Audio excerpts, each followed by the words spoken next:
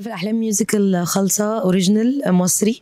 آه، تأليف آه، أستاذ إبراهيم موريس اللي هو رئيس فرقة المسرح الغنائي المصري. ودي تاني مرة بشارك فيها مع فرقة المسرح الغنائي المصري. عملنا قبل كده مسرحية ليله وده تاني عرض بعد خمس سنين. والحقيقة مبسوطة جدا بمشاركتي معاهم للمرة التانية على التوالي.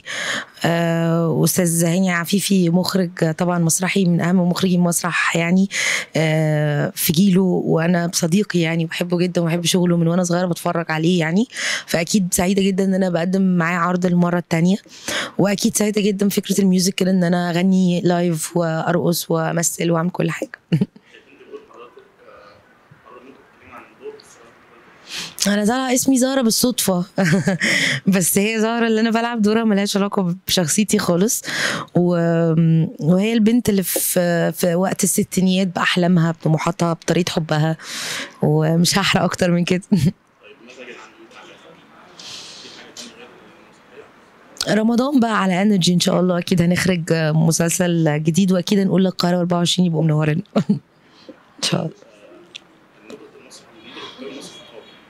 ندرة كتاب المسرح هل ده سبب في لا أنا ما بشوفش إن في ندره كتاب مسرح. أنا بشوف ندره إنتاج مسرح والحقيقة إنه بشكل شخصي جدا. كنت لسه بقول إنه إحنا في انريتشمنت كده أنا بشكل شخصي حاساه بقالي فترة إنه بقالي كام شهر بحضر عروض مسرحية مؤخرا. فمبسوطة جدا من حالة الانتعاشة دي. بس إحنا بقالنا سنين عندنا مشكلة في إن المسرح يبقى مفتوح أصلا ويبقى بيقام عليه عروض. لكن كتاب المسرح موجودين وممثلين المسرح موجودين جدا والمسرح يعني أبو الفنون. مبسوطة جدا ما بقولك أنا حتى بشكل شخصي شعرة بده وحضرت كذا عرض فسعيدة جدا جدا باتجاه الدولة نحو إنها تبقى بتركز في المسرح وإن المسرح يتفتح تاني ويبقى فيه مجالات مختلفة وعروض مختلفة وجهات إنتاج كمان مختلفة ميرسي أوي.